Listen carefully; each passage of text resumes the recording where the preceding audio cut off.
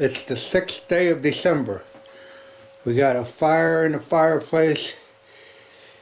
It's about 12 degrees outside, actual temperature, and wind chill about 4 below. It's cold. Now, we're going to go hunt. With those kind of temperatures outdoors, it's going to really be hard to hunt in a tree stand unless you're prepared. Now this can be for gun or archery. Uh, doesn't make any difference if you're a post-up hunter, you're going to need to be warm. And in today's world, there's no excuse if you should get cold. Preparation will keep you in the woods longer. Hopefully, that will enable you to score on the harvest of an animal. But uh, there's no excuse for cold hands, cold feet, or cold anything today in today's modern technology. I'm going to share with you a few tips that I use and I hope maybe they'll shed some light and maybe keep you on stand a little bit longer. Well, number one, what you're going to have to do, it all starts at the base layer, your long underwear. This Under Armour, there's several good uh, undergarments out there. Tops and bottoms are a must. That's what starts your basic foundation. If you don't have a good foundation in your house, all you're going to end up with is a undesirable shack. Foundation is everything. Build on it. Under Armour or any top of the line polypropylene type wear. Do not use cotton. That's a given. This, if it gets wet through perspiration, is going to soak it away from you and keep you drier. And dryer is going to make sure you stay warm. Okay, after you go with your base layer, your long underwear, you're going to need your next layer and go with 100% wool. These here wool sweaters, they have a liner in them called windbreaker. It also breaks the wind, helps any wind moving from stealing your heat away. And that's usually the culprit right now with these winds, wind chills, is you can sustain the cold weather at a given temperature, but with the wind, it's always eating at your protection, and it'll eventually uh, bring you down to that temperature because it just keeps gnawing at you. Wool with a liner in it, plus these wool bibs. I really like these wool bibs. They're super because, as you see, they're 100% wool. And if you're allergic to wool, find something, fleece or something. But you cannot beat wool. It actually generates heat. If it does get wet, it'll actually generate a small amount of heat. It's heavy, but, you know, this is what God gave the animals to wear, and uh, so it does the job. Now that we got this, our, we've got a base layer on, plus we got an overlayer. And, and the more airspace you, you can make, make sure these clothes are a little bulky. Don't have them skin tight. Airspace will conserve heat. And it gives it a, you know, just a, not, you don't want something skin tight. That's not going to help you at all. So little bulk on your arms, little bulk in your pants, that's a good thing uh, um, that'll actually help you stay warmer. Okay, the next biggest problem we're going to go from is your feet. And that's where a lot of people fall down tremendously is your extremities, your hands and your feet, your head, stuff like that are your extremities. And you've got to keep these warm. And here's a little trick how I keep them warm. Okay, this is real critical. This is what will drive most people back into the cabin or the hunt's over, is your feet. All right. Buy these hand warmers, body warmers, by the 18 hour kind. The, the other ones that I found on the market, even though they're made by the same product or people, are in, they just don't do the job. The 18 hour one is the one you want. That's going to give you the maximum comfort for the money. Uh, if you can stay on stand that much longer, your success may just be that much greater. But uh, the thing we're going to do with those is, what I'm going to do is I got a little roll of tape here, and uh, what you want to do, take one of your little packets, put it on top of your foot, wrap it one time around there, bow, that's on. That's on top of your foot. Don't put it on the bottom because you got to walk on the bottom. Have a wool sock on, one wool sock, that taped on. Then bring your second wool sock over that. And believe you me, you'll feel that up in the, up in your stand. It, it's tremendous warmth that you're generating. Uh, and it, it, it, from the top, it heats all, the way around. Okay, that is a really, really, really good item to have. Uh, don't worry about cost. Cost of getting down. If you guys are on a, you know, only a weekend hunter, you need all the time you can spend. And like I say, this is really simple. And this far outweighs anything I found on the market. Yankee Ingenuity. Put that on, make sure you put it on top. Don't put it on the bottom, you wear a hole in it, and that, that's not good, it'll just be wore out. Keep in mind, you're not going to be walking a long ways. You're going to be standing a lot more than you're walking. So uh, just put your wool sock on, and that'll be ready, good to go. Also, while we're on your feet, while we're trying to keep your feet warm, cut you out an old piece of carpet. Now, naturally, you're not going to wear this. This is an accessory for your tree stand. A lot of guys, most of them are metal now. I still have a few wood ones that I made, which are really dynamite in cold temperature because metal is going to conduct the cold right into your feet. Put this underneath your feet on top of your stand. It'll save you a lot, a lot of discomfort. So, another piece of old carpet. Keep your feet warm. That is a must. The essential part of the whole system, once you've got your foot wrapped and got your wool socks on, is your pack boot. These boot boots come from Sorel. They have two bottom insoles, a nice a frost breaker, and a soft cushion one. Put those in. Make sure your boots are dry. Every night when you're done with them, buy a pair of boot dryers. That's essential. They won't hurt the boot. They dry out that moisture.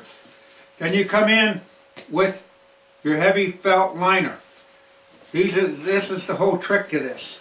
Now you've got completely dry footwear, and that's where a lot of guys fall down. They'll take their boots, they won't dry them out, and that moisture builds up in there, and then when they put them back on, they go out there basically with a wet foot. And then when you get that moisture or that temperature on there, it doesn't take long. Now, keep in mind, you're not going to be walking a day hike in these in these boots. They're too big and they're too heavy. But you're not that's not what you're doing anyway. You're going to post up whether it be in a ground blind or on a stand. You get them on there and you're going to have your nice boot on there. Uh, they're a little bit heavy. This will give me a little little time getting that liner back down in there. But you got to pull them out and make sure that you get those absolutely dry. Because that's why a guy says, well, yesterday my feet were warm. I stayed on stand longer. Now I froze my feet off. And basically it's because you went to the field in a wet diaper. So uh, get your boots in, in. They're really they're going to be on the heavy side. They're not for hiking. They're for posting up.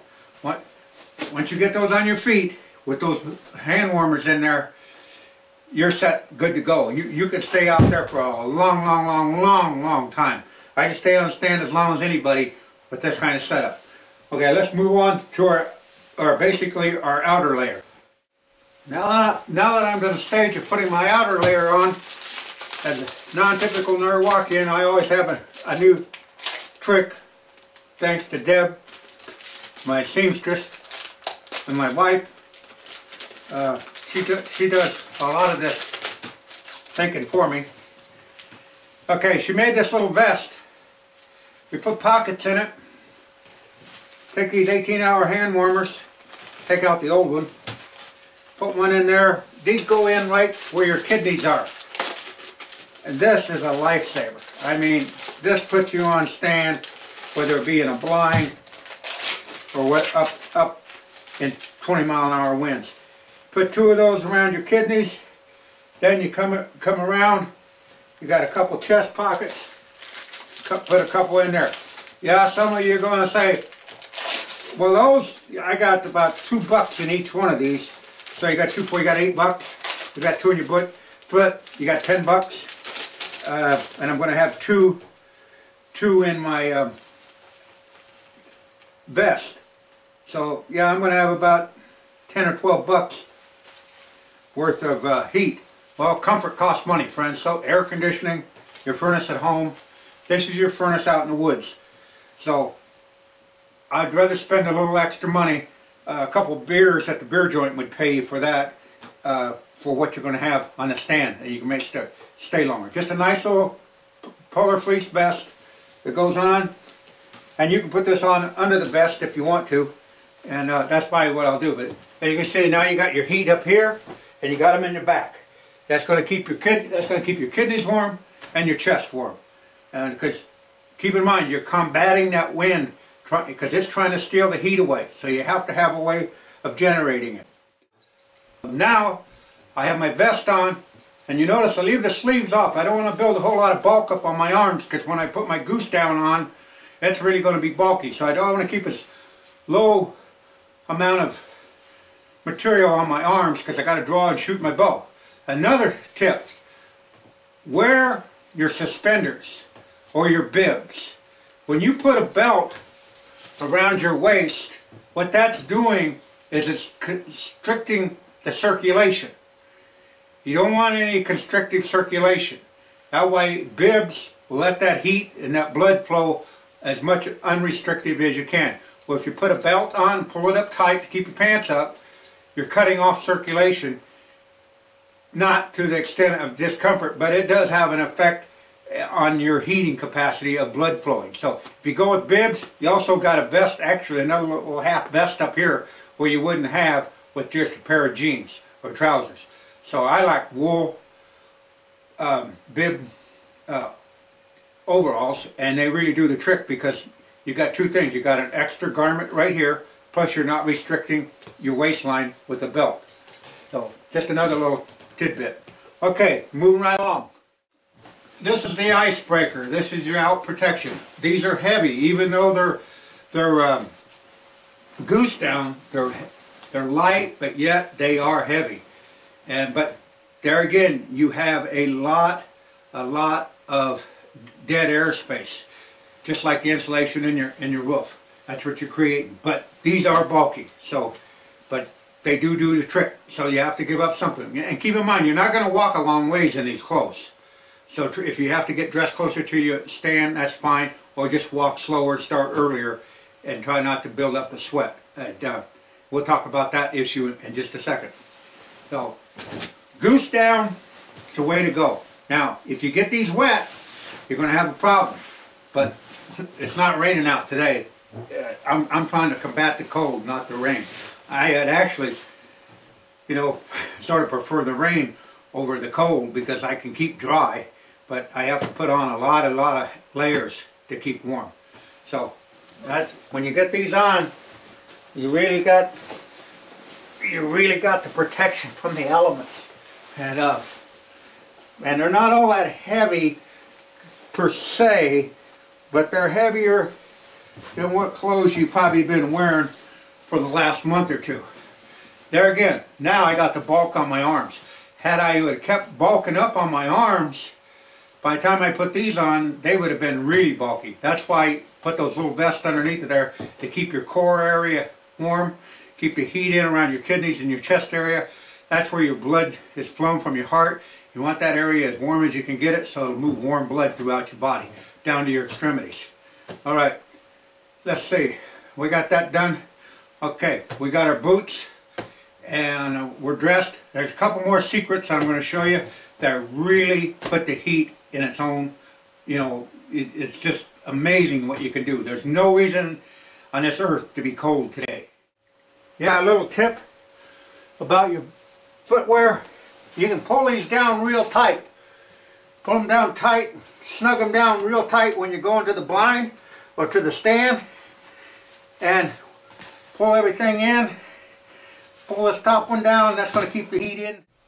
Now when you get to the stand, you're going to want to loosen that top string back up and let more air space in there. And that's a nice thing, then you don't have to have it as tight because you're not moving around. But while you're walking to the stand, you want to cinch that down pretty tight so you, you can walk in it because it's an awful bulky boot. But once you get there, take and loosen that up and that'll create more airspace and keep your foot that much more warm. Okay, now that I got my outer layer on, basically I could go, but if the wind's blowing a lot, what that's going to do is it's going to blow between your legs, and as that wind blows between your legs, it's got a, a more biting effect because it's stealing heat between your legs and all around your leg. So to enhance, to keep that warm air trapped in there, we've devised, and they sell these commercially. I built this here. This is what I say, bow hunting is a non-stop activity. It's a polar fleece blanket. And once you get in the stand, you got to be a little careful. You can't be, uh, you know, willy-nilly up there. You can get dressed in it. Goes on your feet. Actually, your feet go right through the bottom of it. And now, you pull it up. It's got two suspenders. And now you've trapped all that warm air in there.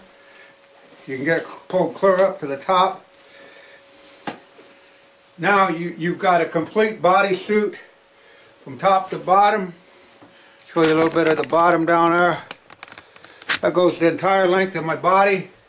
Clear down, I can even let it go down above my feet like that. I'm standing on a piece of carpet. The wind no longer can get between here. Uh, women knew about that with skirts, long skirts, that keep the wind from getting through their legs. They have a pair of nylons on and a long skirt. They're warmer than what most people would think simply because the wind cannot get in there and steal the heat. You can do two things. You can put your safety harness on now over the top of all this. Or what I do is I go in, my, my safety harness will be underneath this, underneath my shield. And I will go in on top of that. And uh, what I'm going to do is uh, I will, uh, I go, I've always wore a vest and there again, the reason I wear this vest is it, it gives me some more core area and it uh, also makes you want to pull your hood up. Once you get your vest on and get it zipped up, you can put two hand warmers, one in each pocket. This one was from yesterday and it's 24 hours later and it's still got some heat to it. That's that 18 hour one. Put your hands in your pocket, you got your vest on, you're good to go. I've stood out with 25, 40 degree wind chill factors. Sometimes I'm asking myself why, but then I'm the non-typical Norwalkian and I just assume you can't kill one sitting the, on the couch in front of the fire. The next and one other item that you want to have with you is you're going to sit down up there, have one of these insulated seats, foam rubber. This is a good quality one. There's several out on the market. Find to find the thickest one. Might cost you a little more money. But when you put this down on one of those metal ladder stands or something, you're not putting your guns down on a piece of cold metal or cold aluminum that will actually conduct the cold and send it right into your body. This will insulate you. You got your carpet underneath your feet insulating you, and you got this on your butt insulating you. Now, you got your hands warm. You can keep them in your pockets. You guys want to shoot bare fingers. I shoot fingers. So I can keep my hands in there right until the moment of shooting time. And if you really want to keep your bow in your hand for a lot, longer, get a nice thin glove. Don't get a bulky glove unless you practiced with it. But uh, get, you may want to put something on your bare hand because that, that gets to biting you. That's up to you. But if you can put your hands right here in your, in your you got two hand warmers in there, your hands, when you bring them out, they're ready to go. And uh, anyhow, layering, wool, polypropylene for a foundation. Lots and lots of hand warmers. I know that might be over the top for some of you, but I can stay on stand. And I can stay on stand a long, long time. And you can too. If you just look at some of this, put it on your onboard computer, digest it, see what you come up with. This is the ultimate though. This is the windbreaker. They sell these suits for a couple hundred bucks or you can make your own. I, I'm a kind of person that I would rather invent it on my own and use it, and that way I got something personal in it. So, okay, the last item is probably one of the most important items there are. It's your head. Uh, pardon my hairdo. Been too busy hunting, ain't been enough time to go to the barbershop. This is the most critical part. It's not only got your onboard computer, that's where you'll lose most of your heat. Your head, as it heats up, sweats. So I prefer not to wear a hat to the stand. I've seen guys get to the stand, they take their hat off, they're just full of sweat. That sweat just conduces odor. So the more that you don't use that, a hat going to stand, the better off you are. Now once you get to the stand and you get all set up, that's when you want to go in. Now you want to capture that heat and hold the heat, not the sweat, back in. Uh, you might want a day like today, you can go to head nets and uh, that's good to go. It's really, really cold, you can always put your hood up. Make sure you can pull that down tight so you can move and you don't have any restriction in your eyes. That's going to keep you warm. If you have a problem with the sun issue, this, this little thing has a little flap on it. You can pull it down, block some of that sun. If not, you might want to take a, a ball cap or something just for the sun. Don't take it for the warmth though. But remember, take these off when you're walking on the ground, get them off. Because that will let you be more comfortable. There's no use of sweating it all up and, and then when that sweat's going to turn cold when you once you get on stand. So let it evaporate, keep your temperature cool. Once you get on stand, put your head headgear on. Uh, that should keep about do what I know about keeping warm. It served me now for the last 30 some years of standing on stand. So, and I'm sure it will, um, you'll get some value out of some of these tips. So, without any more of my BS, this is the last night. Let's go bow hunting.